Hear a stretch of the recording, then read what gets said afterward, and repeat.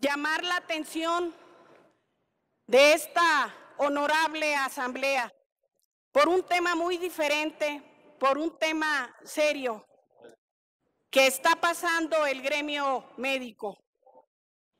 Quiero solicitar el apoyo de esta honorable asamblea, sobre todo para las mujeres médicas que en este país, una vez más, estamos padeciendo la lamentable muerte de una compañera, de Mariana de Lourdes Sánchez Dávalos.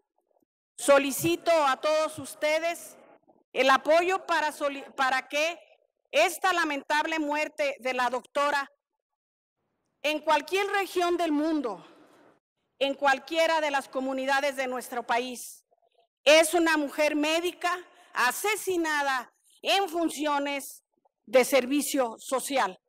Señor presidente, solicito en nombre del gremio médico, de las médicas mexicanas, que en el momento que usted lo considere, hagamos un minuto de silencio por la memoria de Mariana de Lourdes Sánchez Dávalos. Es cuanto, presidente, y muchas gracias por la deferencia.